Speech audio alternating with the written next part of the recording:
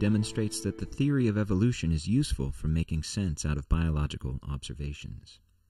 According to an article published in the journal Nature in September 2005, more than a century ago, Darwin and Huxley posited that humans share recent common ancestors with the African great apes. Modern molecular studies have spectacularly confirmed this prediction. One notable difference between humans and their ape relatives is seen in their chromosome numbers. What follows is a detailed history of scientific discoveries concerning human and great ape chromosome numbers. In 1958, researchers definitively confirmed that humans have 46 chromosomes. Two years later, in 1960, researchers determined that the chimpanzee chromosome number is 48. The following year, 1961, researchers determined that gorillas and orangutans also have 48 chromosomes. Since chromosomes come in pairs, this means that humans receive a set of 23 chromosomes from each parent. In contrast, chimpanzees, gorillas, and orangutans receive 24 chromosomes from each parent. This means that humans have one fewer pair of chromosomes than their ape relatives. Scientists were initially puzzled by this apparent discrepancy.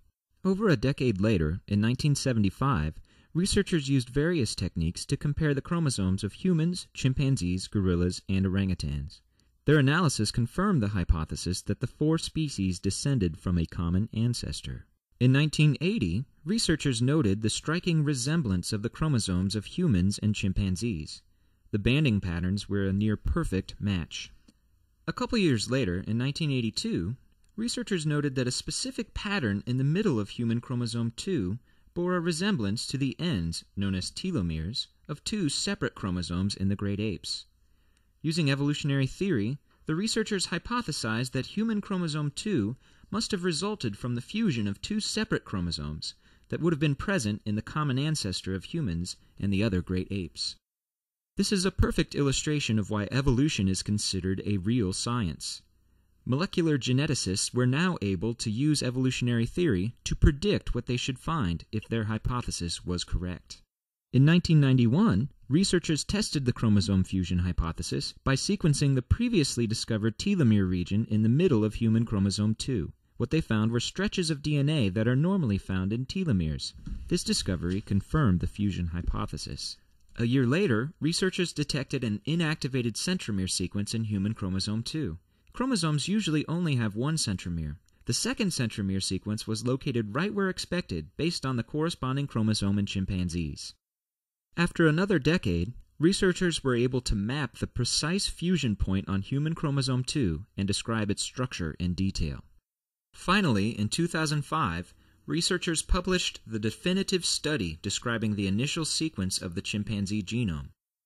What it showed was a break in alignment continuity at precisely the locations predicted by the fusion hypothesis. It literally took decades to uncover the explanation for the difference in human and ape chromosome numbers. I hope you noticed that the scientists responsible for these discoveries were not limited to simply noting the similarities and differences in the chromosomes. They could actually discover the causes of those similarities and differences using evolutionary theory as their guide. Also, scientists did not just run across this evidence and then later claim that it supported the common ancestry of humans and great apes. Instead, they used evolutionary theory to propose a testable hypothesis, to form predictions, and to test those predictions by examining the chromosomes. Clearly, evolution is real science.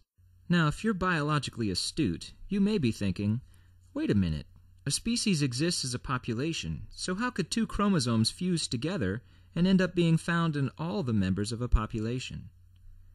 The explanation is actually quite simple. The animations that follow will illustrate one possible scenario. The most probable time for two chromosomes to become fused is during meiosis, the process used by organisms to produce sex cells. If a fusion event were to occur in one of the sex cells of a primate with 48 chromosomes, the resulting cell would have only 23 chromosomes instead of the normal 24. If this cell went on to be involved in fertilization, the resulting offspring would have only 47 chromosomes. This primate with 47 chromosomes still has all the genes necessary for survival. In fact, it very likely would have been indistinguishable from other members of the population. But this primate would have produced sex cells with either 24 or 23 chromosomes. When this individual reproduced with a normal individual, approximately half of the resulting offspring would also have 47 chromosomes. The next part of the explanation may seem a little freaky because it involves inbreeding. Recent estimates indicate that early human populations were likely very small.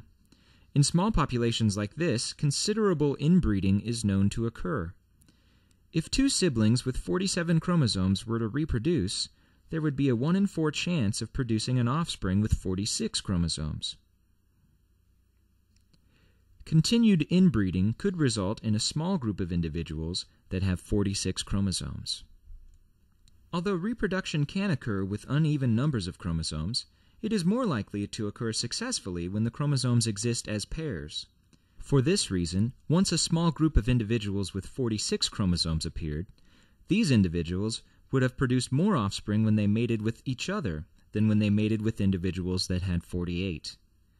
As a result, the 48 chromosome population and the 46 chromosome population would have diverged over time. All humans on the planet today are the descendants of the population with 46 chromosomes. So, there you have it. Simple genetics combined with cutting edge molecular research, leads us to a powerful explanation of a large set of biological observations. These observations only make sense using the real science of evolution. I'm Jeremy Mohn. Thanks for watching my video.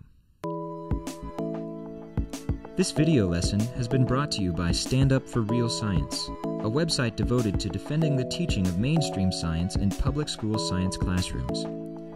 Visit us at www.anevolvingcreation.net slash standup.